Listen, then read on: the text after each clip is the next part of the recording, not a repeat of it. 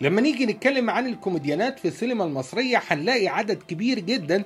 ممكن أقول لك 100 اسم ناس شاركوا في الكوميديا بشكل أو بآخر في الأعمال الفنية. ولكن لما تيجي تسألني مين تميزت في الأدوار الكوميديا سواء زمان أو دلوقتي هتلاقي واحدة حاضره من زمان لحد النهارده وبقوة. ولا يمكن إن أنت تكون ما تعرفهاش أو على الأقل لم تعجب بدور واحد من اللي هي عملته لأنها كانت بتلعب أدوار كوميدية بمنتهى البراعة بمنتهى التلقائية برغم إنها حصرت نفسها في دور الحمى القنبله الذرية ولكن تعتبر من أشهر الكوميديانات في التاريخ الفن المصري على الإطلاق. باختصار هنتكلم عن الجميلة ميري منيب.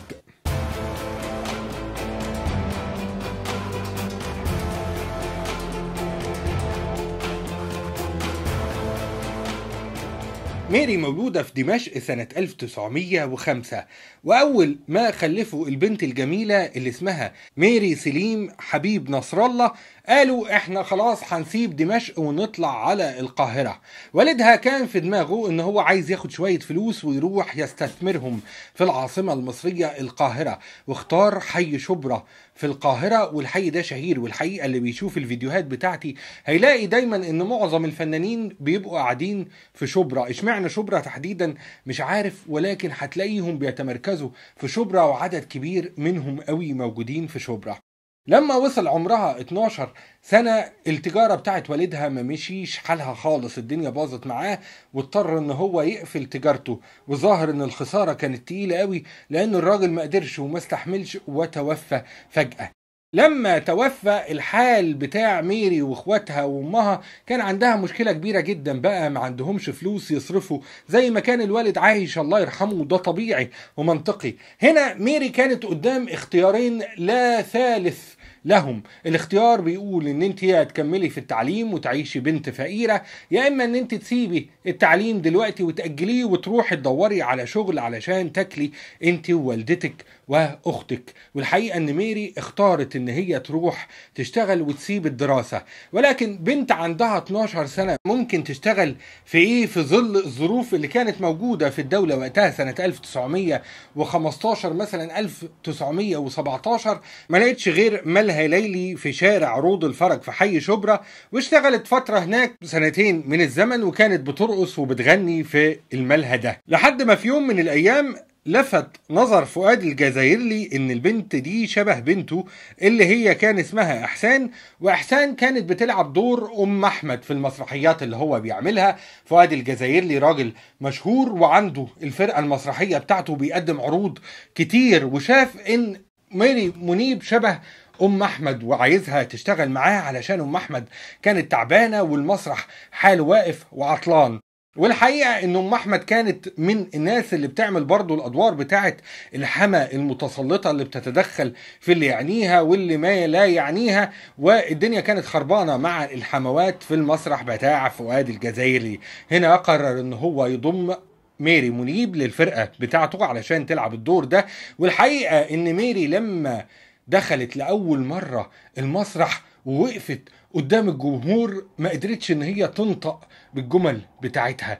كانت خايفة جدا وكان عندها رهبة كبيرة من الوقوف أمام الجمهور وأصيبت بالخرس. في أول يوم والناس فضلوا يضحكوا عليها ويتريقوا عليها ولكن فؤاد كان شايف إن هي ممثلة شاطرة وهيتصلح حالها في الأيام اللي جاية. وبالفعل إداها الفرصة بعد كده إن هي تشتغل تاني وتقف تاني قدام الجمهور.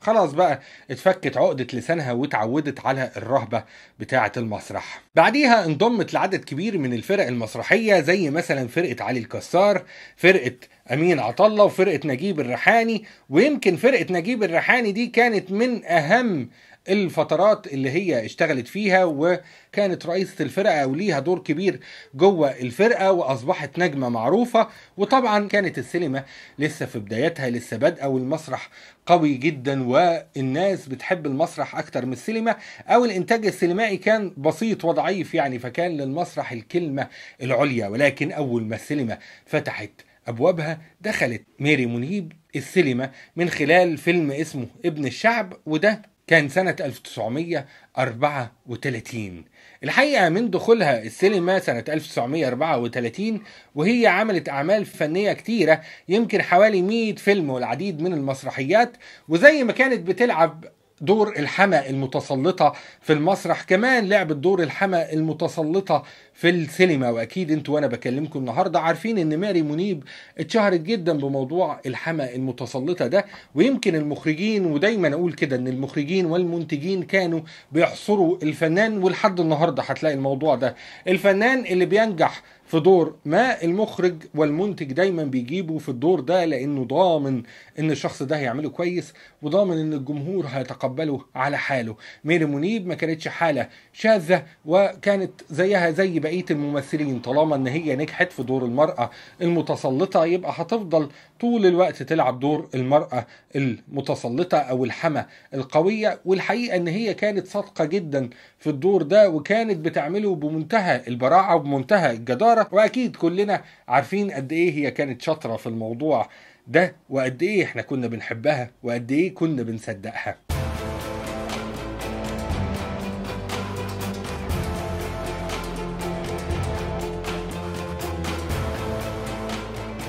ده بالنسبة للحياة الفنية لميري منيب. تعالوا نشوف بقى الحياة الأسرية. أول زوج في حياتها وأول جوازة في حياتها كانت من فوزي منيب وده راجل ممثل مشهور كانت في يوم من الأيام وهي عمرها 14 سنة. كانت راكبة قطر متجه إلى دمشق واتعرفت على فوزي منيب. وكان بينهم نظرات إعجاب وهم جوه القطر والحقيقة إن هم شكلهم يعني حبوا بعض في أقل من 30 ثانية لأن أول ما وصلوا حصل إن هم قرروا إن هم يتجوزوا والأمر ده تسبب في اغضاب والدتها جدا ومعارضتها بشدة للموضوع ده واستمرت في رفض الزيجة دي لدرجة إنها حاولت إن هي تجبره على طلق بنتها لكنها ما نجحتش في ده. ومن هنا جه اسم ميري. ميري منيب نسبة لجوزها فوزي منيب واستمرت الجوازة دي فترة وخلفت منه ولدين. سافرت ميري هي وجوزها لبنان بعد موافقة والدتها واشتغلوا هناك فترة طويلة وقدروا إن هم يحققوا مكاسب مالية ضخمة لكن الزوج طلقها بعد فترة بعد ما عرفت إن هو اتجوز عليها في السر واحدة من اللي موجودة معاهم في الفرقة. والحقيقة إن هي كانت صديقة ميري جدا وكان اسمها نرجس شوقي. الجوازة التانية كانت من المحامي عبد السلام فهمي وده جوز أختها. جوز أختها كان اتجوز أختها من فترة وخلف منها حوالي ثلاث ولاد والأخت توفت بعد كده وميري لقت نفسها إن هي مجبرة أو مش مجبرة يعني ولكن بحكم العاطفة إن هي تربي ولاد أختها قررت إن هي تتجوز المحامي عبد السلام فهمي وبالفعل اتجوزته. وعاشت هناك مع والدته ووالدته كانت يعني من الناس اللي بيكلمها كتير عن الشريعة الإسلامية وبيسمعها قرآن أو بحكم إن هي بتحتك بالطقوس الإسلامية يعني وتلاوة القرآن. كانت كل يوم الموضوع ده بيحصل في بيت حماتها وحماتها كانت بتشرح لها معنى الصور و حفظتها بعض آيات القرآن وبعد كده ميري منيب أشهرت إسلامها في محكمة مصر الابتدائية سنة 1937 وصدرت وثيقة بإشهار إسلامها لدى فضيلة الشيخ محمود العربي والشيخ أحمد الجداوي رئيس المحكمة. وكتب في الوثيقة حضرت السيدة ميري منيب المقيمة في ستة شارع روبي شماع بشبرا وبأنها كانت مسيحية كاثوليكية واعتنقت الإسلام ونطقت الشهادتين واختارت لنفسها اسم أمينة عبد السلام نسبة إلى زوجها عبد السلام فهمي عبد الرحمن أحمد المقيم بنفس المنزل المذكور. وبكده عبد السلام يبقى هو سبب في إسلام أختها بالإضافة إلى أن هو سبب في إسلامها بعد كده. الحقيقة علشان تربي ولاد أختها اضطرت أن هي تبعد عن التمثيل فترة طويلة بالإضافة إلى أنها رجعت للتمثيل بعد ما الولاد كبروا شوية. وآخر عمل فني ليها كان لصوص لكن ظرفاء اشتغلته مع أحمد مظهر وعادل إمام.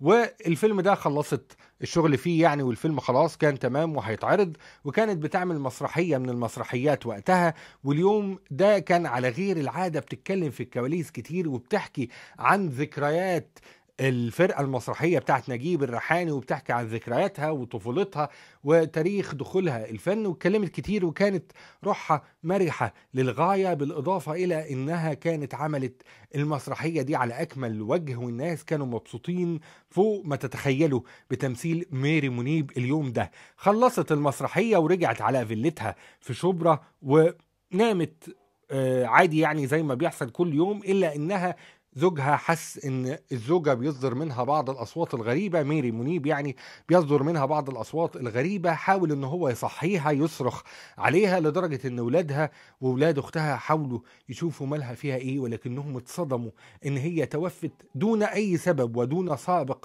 إنذار. اتوفت فجأة و مش معروف إيه سبب وفاتها يعني ولا كانت بتعاني من إيه وده كان سنة 69 تحديدا 21 يناير. الممثلة الكوميدية ميري منيب مش هتتكرر لو جيت تدور على أي حد شبهها النهاردة أو قبلها أو بعدها هتلاقيها هي وحيدة مميزة وطابع خالص مصري برغم إن هي من أصول شامية ولكن الوطن العربي كله نفس الروح ونفس الدم. وطبعا ميري منيب كانت مؤثرة في الفن. المصري ومؤثرة في الوطن العربي بشكل كامل يعني. عايزين بقى كلنا وإحنا بنشوف الفيديو ده ندعي لها بالرحمة ولو شفنا أي عمل من أعمالها اللي تخطت أكتر من 100 فيلم وأكتر من 200 مسرحية أو أعمال فنية كتيرة شاركت فيها لازم ندعي لها بالرحمة. شكرا ليكم واشوفكم على خير في حلقة جديدة. مع السلامة.